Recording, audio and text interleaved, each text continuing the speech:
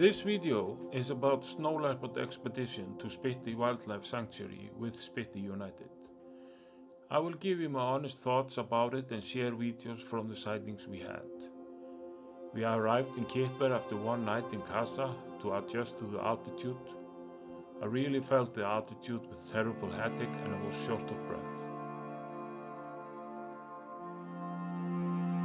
Arriving in Kipper and to the Red Fox Hotel and seeing my room, I saw this was going to be out of my comfort zone. But exciting experience, no central heating or running water, it was going to be camping in a house.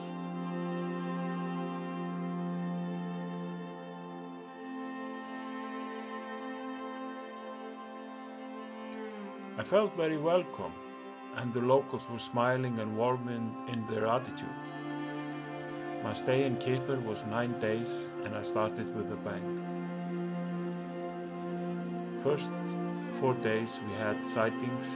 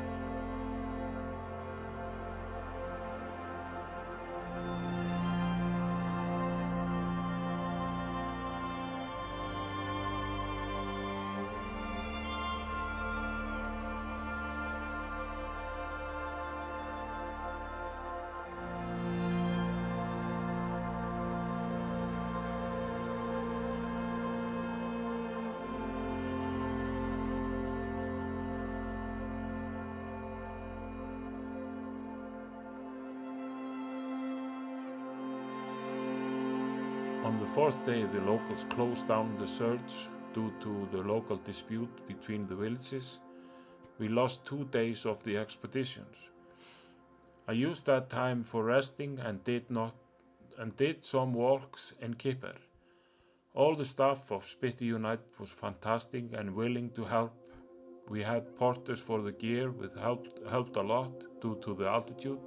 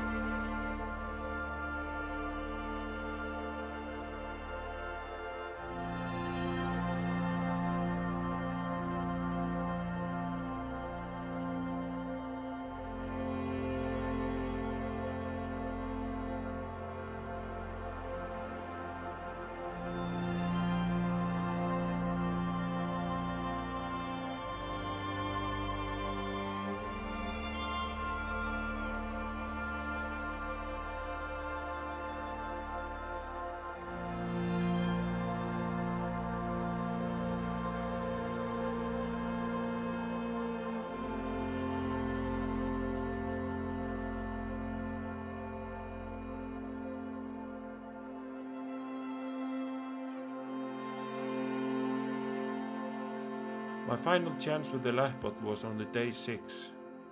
Late afternoon, I saw a failed hunt and mother with two cubs. Observing the behavior of the mother and the cubs was the highlight of the trip. Even, even so, it was far away and did not produce the best images.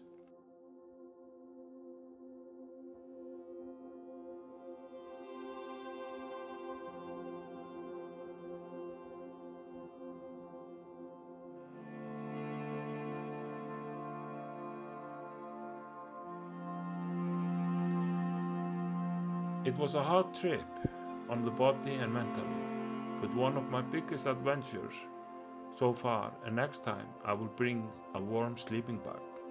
I did not sleep well the whole trip.